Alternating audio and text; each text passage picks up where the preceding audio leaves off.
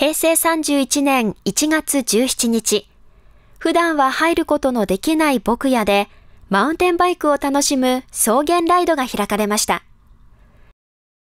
これは NPO 法人阿蘇田園空間博物館と阿蘇サイクルツーリズム学校小木出す協議会が主催している牧野ガイド事業の一つで、講習を受けて認定された牧野ガイドが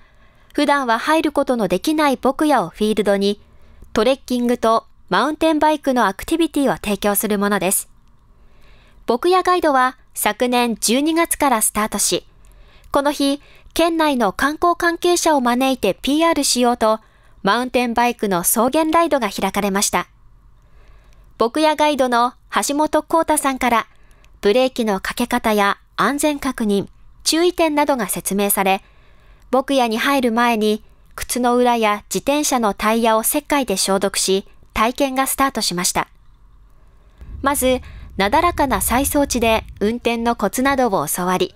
そしてだんだんと難しいコースにも挑戦していました。最後ビューンと空気は気持ちいいですし、朝さん見ながらもう最高です。午後も頑張りたいと思います。